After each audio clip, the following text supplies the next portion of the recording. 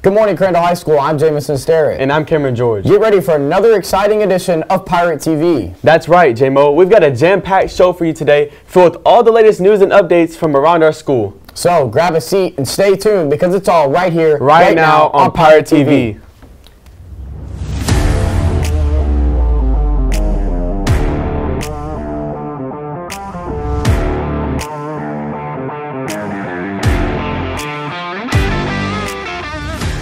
Welcome back into the studio.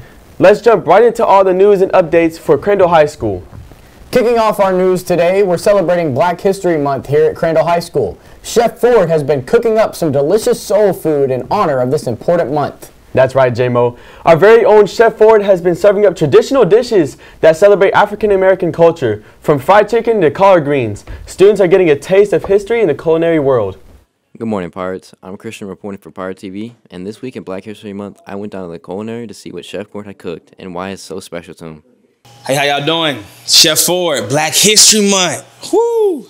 So, uh, I had to do the fried catfish, the candy yams, the greens, and the mac and cheese, and the hot water cornbread. The bell just rung. You know, we in school. All right, so, um, what this means to me uh, back in the day, like my, my parents actually have a soul food restaurant. Um, and so, but um, before that, they would always cook these meals like this. And I always remembering as a kid, like even hot water cornbread, my grandma used to make it. I used to go to the basketball and I'd, I'd take a hot piece of hot water cornbread, a piece of fish. I'm on my way down to go hoop at the um, down at, down at the Austin Elementary because I used to live in Mesquite or whatever. And so um, it's just kind of one of them childhood things. And then greens, we used to get greens almost every Sunday.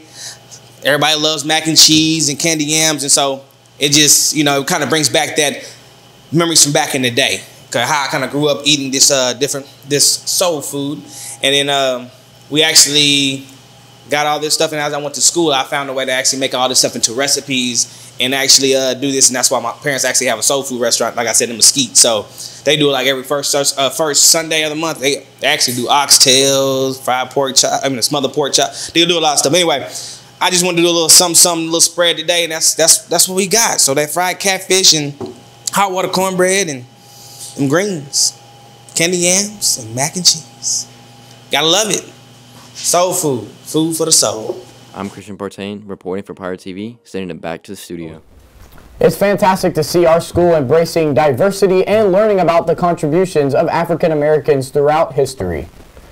In other news, the National Honor Society had a successful blood drive earlier this week. That's right. Many students rolled up their sleeves to donate blood and help save lives. It's incredible to see our school community coming together for such an important cause. Absolutely, JMO. Giving blood is a selfish act that can truly make a difference in someone's life. The high school blood drive presents us with a unique opportunity to be beacons of hope for those facing medical emergencies, for those battling life-threatening conditions, and for those who depend on generosity of strangers for a chance of survival. So one of the why is it so important to donate blood, especially us being so young, is because we are in a universal blood shortage, and so they're in need of lots of blood right now. And since it's easy access right here at Crandall, it's just simple, get it done, and help a lot of people. One of the main things I've learned is how much work goes into it. So we start planning for blood drive months ahead, months ahead, and Miss Hicks and the other officers, we are all just doing whatever we can to make it go as smooth as possible, get people in and out, back to class. So it's just a very big commitment we make. As you can see, the blood drive is a big part in saving lives all over the world. It's not just about getting out of class. I hope this better helps you understand the importance of the blood drive and how it can help people all over the world, not just for today, but for many days to come. What's up, Pirates? Today I have Tristan Cifuentes and Kendra Jones with me. Today we'll be doing the trivia game show, and here's the rules. If any contestant gets a question wrong, then they have to get a spoonful of hot sauce. If they both get it wrong, or if they both don't answer, then they both have to get a spoonful of hot sauce. Now, this trivia will be about the school's history and the current history that's happening in the school right now. What year was the current high school built? Go. All right, hey, Tristan, Tristan, Tristan, Tristan got it. Tristan got it. So now I gotta answer the question correctly. You got 20 seconds. You don't know this history. I'm gonna go with uh, B, 2006. B, B 2000. The question is incorrect. Mm. I mean, the answer is incorrect. Answer is A. Answer is A. Kendrick Jones is correct. Bro. That means Tristan, you, Studying. that means you gotta get a spoonful of hot sauce. You're the first one. All right. Hey, Take it. Yep. Go ahead. Little some slice. Little some slice. So slight. When was the first high school bill? Go. Come here. Kendrick Jones got that. 1903. No, no. That is, that is Kendrick Jones. I got that first. Your answer is correct. We love hot sauce. You promoting a business right now? It's advertising. I put a little bit more on your side this time, Tristan, because this is brutal. My spoon, how it's this color because of the hot sauce, and yours. Get the questions right. Right. How many state championships has our cheerleaders, uh, ch- pirate cheerleaders won? Go. Come All here. right, Tristan got that one. B five. All right, that question is correct. Yeah. Kendrick Jones. So I ain't grab that. No. You can't watch the replay. Watch the replay. No, go ahead. No, there's some little residue left on that. What is Mr. Melm's first name? Go. C. See? He says Joseph. that answer is correct. Look like a little Joseph. He looks Alright, like a Joseph. I would have said Joseph too. Be one of them. Next time we'll do Bean Boozled, so it's more like. so it's more like th- this isn't this isn't enough of a challenge for But I think I. What was the Crandall football team's record this year? Y'all should know this because y'all play football. Put So y'all hand should know y'all's record. Put your hand down. Go. No, no, he It's a cheated. He cheated. 64. Oh God, he cheated. Watch your No. replay. Your answer is correct. Double. It's The camera. What will we say for the next contendants coming on the show, Tristan? Uh, we need instant replay, and we need something a little more upscale. Was the hot sauce too light? The hot sauce is too light. Was It's it for not? Tristan. Tristan's not even sweating right now. Nah. All right, that's all we have for you. Thank you, Tristan. Thank you, Kendrick. Thank y'all. Y'all have a great day. Phillips. Shifting gears, let's talk about some exciting achievements in the world of extracurriculars. Both our cheer team and Gold Duster drill team brought home awards this past weekend for outstanding performances. Hey Pirates, Crandall Cheer went to Disney World in Orlando, Florida to compete in the National Cheer Competition. Their trip was not only packed full with fun activities to do at the park, but also competing.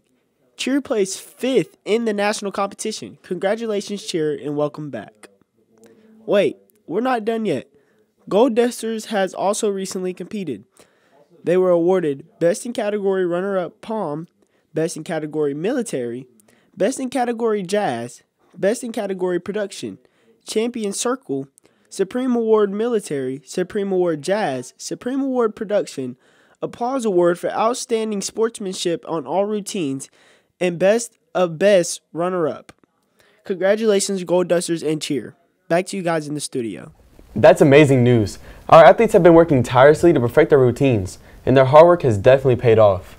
That's right, Cameron. It's inspiring to see our students excelling not only academically, but in their extracurricular activities as well.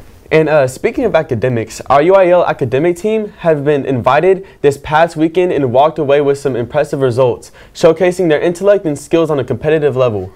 That's pretty cool, Cam. It's impressive to see our students excel not only in sports and extracurriculars, but also in the academic area as well. Of course. Hey guys, I'm Miss Bullard. I'm the UIL academic coordinator here at Crandall High School, that old lady in the English hall. And I've got some great news. We are so proud of our academic students competing in UIL this year. Um, Saturday, February the 10th, we took an invitational to Canton. The good news about this is we went up against teams that we will be seeing in April. Listen to these results. It's amazing. Um, Mr. Juarez coaches interpretation for poetry and prose, and in that category, Ariana Jeter got second in poetry. Parker Wallace got fourth in prose. Amazing accomplishments. Mr. Pruitt over at the Freshman Center, he coaches social studies. We had a fourth and fifth place overall. Katie De La Rosa and Samantha De La Rosa took fourth and fifth in social studies. Extemp and LD is myself coaching. For Persuasive Extemp, Luke Abraham got first in prelims, Shelton Gibbs and Sebastian Mun- Munoz both got second in prelims. For Informational Extemp, Jayla Faulkner took fourth in prelims. We are so excited about that. And I have to say a quick shout out to one of our LD uh, competitors. She had never competed before. I just literally pulled her in. You're going to compete. Go. She won her first round in LD, and that is London Margot, and we are so excited about that. In spelling and vocabulary, first place team, Pirates, first place team. Haley Walters took second, Pearl Guru took sixth, first place team in spelling and vocab. And in ready writing, these are our big winners. Somebody do a shout out for Miss Moses because she's coaching our ready writing team.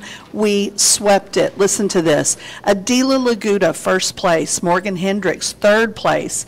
Ishioma Okanji, fourth place. Abigail Aker, fifth place. Camila Flores Ruiz, sixth place. We swept that contest. We've got some great writers on campus. My name is Adila Laguda, and I competed in Ready Writing for Crandall. Ready Writing is a time based essay, and you're given two hours to write based off of a quote you're given um, using evidence from your own thoughts. We swept the competition this time around for the first time. Miss Moses is our coach, and she's really encouraging and always helps us out when we're nervous or we don't know what to write about. When you see these students, when you see these coaches, please congratulate them on a job well done and um, just root them on to our district contest taking place in April at Terrell High School. That's it. Now, onto some tech news. TikTok has recently made a significant change, removing sounds from their feed. Have you noticed this change? Wow. And what you have said about some of these favorite sounds being gone? Pirate reporter Jalen Washington noticed a shift in the platform and was interested in how our student body felt about this change. So, as many of you know, UMG, also known as Universal Music Group, failed to reach a new licensing deal with TikTok last week, which caused thousands of UMG on music to be suddenly muted and removed from the TikTok library. So, I went around to ask students how they felt about the change. How do you feel about all the sound being removed off TikTok? On my mama, I will beat that CEO up. It makes me really mad. Well, I think it's like a shame, bro, because it's all the good music on TikTok, bro, and everybody already listen to music. I'm really just happy that they got rid of Taylor Swift songs. That's really. Real. I'm just happy that they still have Frank Ocean on TikTok. I like that. I like that. I'll be back at it again. I got one in the wild. Hey, yo, Ty, big guy. Yo, hey, hey. How you feel about TikTok removing all the sounds? Bro, I, bro, that was so annoying, bro. Bro, I just wanted to smash my phone against the wall, bro. I feel you. I feel you. I like that. Whoa, whoa, whoa, Jay, let, let me take this over real quick. Let me let me go ask some of my people. We back for part two. Zach Zakel, I got a question for you. Do you watch TikTok? Yes. All right, who your favorite TikToker? I don't got one. Uh, what's your opinion on all the sounds being removed? They don't need to remove them. Why? Why we want to remove the sounds? We use the sounds every day. Mm, okay, okay, good answer, good answer. I, man, I like that. That's a solid answer, man. See, I get solid answers. Taylor, I don't know what he was doing. I was just messing with you, fives. You know, J five, man. J- Who's your favorite TikToker? Uh, Ty Herndon, zero.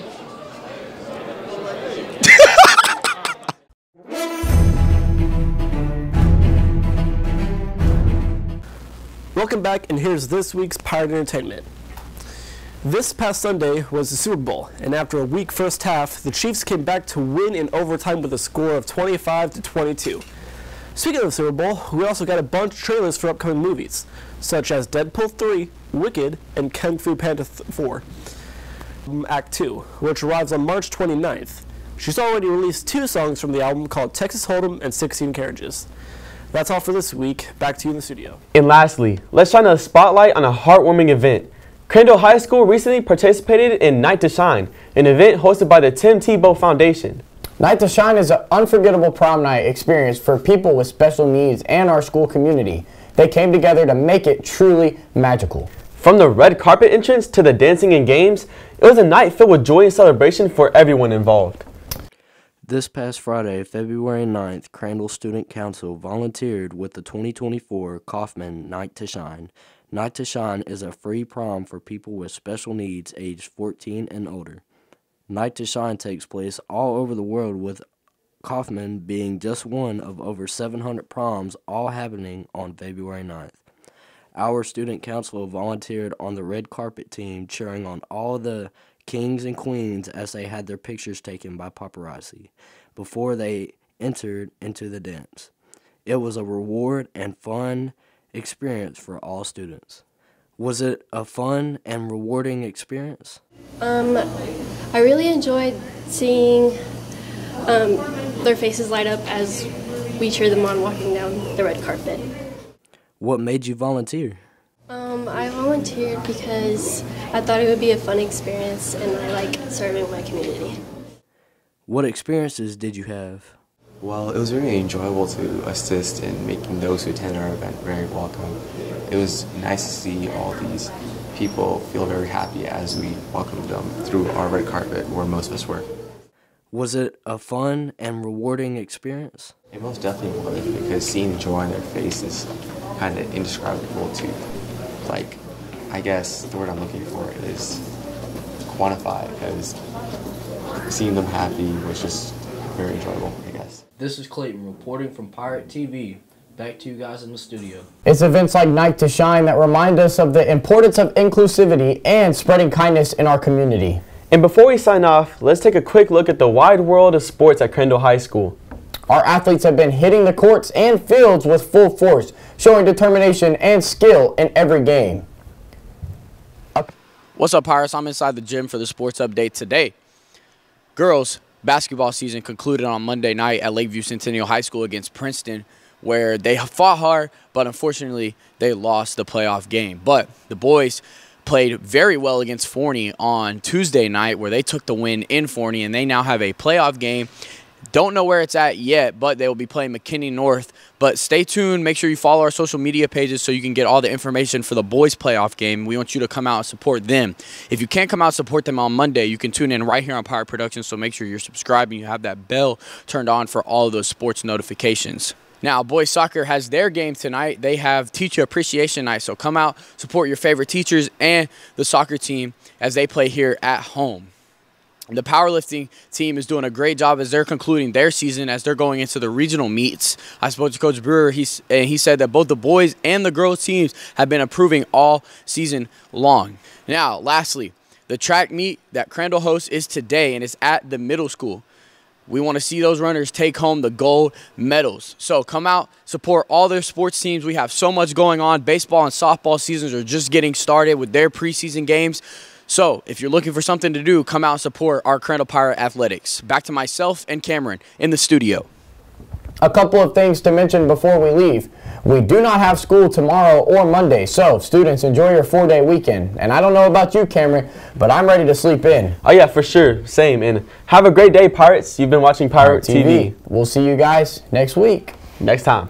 Woo!